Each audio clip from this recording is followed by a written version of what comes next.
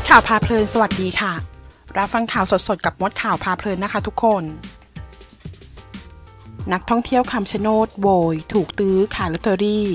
ไม่ซื้อแถมด่าไล่ค่ะ ผู้สื่อข่าวได้รับการร้องเรียนจากนักท่องเที่ยวที่เดินทางมากราบสักการะปู่ศรีสุโธและย่าประทุมมา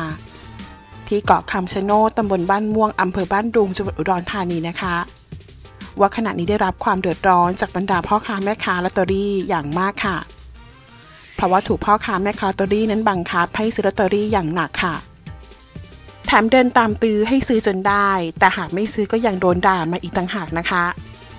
โดยบรรดาพ่อค้าแม่ค้าลอตเตอรี่ที่ดักรอนักท่องเที่ยวรอบๆ ทางเข้าเกาะคำชะโนดนั้น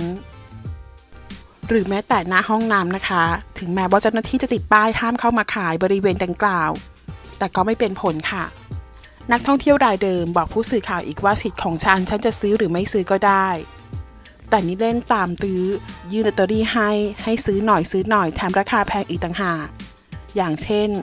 ขายลอตเตอรี่นะคะไป 120ถึง150 บาท เลขชุด5ใบ800 บาท หรือว่า 15ใบ2,800 บาท ถือว่าแพงมากค่ะ เราบอกไม่ซื้อก็ยังถูกด่าไล่อีกต่างหากนะคะ อยากให้เจ้าหน้าที่ที่เกี่ยวข้องมาจัดระเบียบ การขายลอตเตอรี่ที่คำชะโนดเสียทีค่ะทำความเดือดร้อนรำคาญให้แก่นักท่องเที่ยวอย่างมากทางนี้ปัญหาพ่อค้าแม่ค้าลอตเตอรี่นะคะ ตามตื้อนักท่องเที่ยวให้มาซื้อ ก็มีให้เห็นอยู่รอบๆเกาะคำชะโนด แม้ว่าเจ้าหน้าที่ จะจัดสถานที่ให้ขายแล้วก็ตามนะคะ หรือว่าติดป้ายห้ามขายบริเวณทางเข้าคำชะโนดแต่ก็ไม่เป็นผลค่ะ โดยขณะนี้มีบรรดาพ่อค้าแม่ค้าลอตเตอรี่นะคะ ที่คำชะโนดประมาณ 300-400 ราย เดินตามตื้อนักท่องเที่ยวจนสร้างความรำคาญค่ะ ทางนี้นะคะ ก่อนหน้านี้มีคลิปพ่อค้าขายลอตเตอรี่โผล่โซเชียลทะเลาะดุดเดือดกับเจ้าหน้าที่อส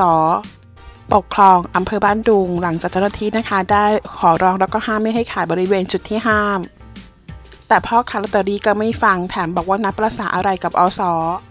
ขนาดประหลัดยังไม่กลัวเลย จนเป็นที่วิพากษ์วิจารณ์ถึงความไม่เหมาะสม ของพ่อค้าแม่ค้าลอตเตอรี่ที่คำชะโนดอย่างมากเลยค่ะ ขอขอบคุณข้อมูลจากสยามนิวค่ะ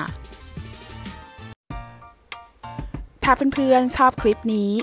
ฝากกดไลค์และกดกระดิ่งติดตามได้ที่ช่องมดข่าวพาเพลินด้วยนะคะ ขอบคุณค่ะ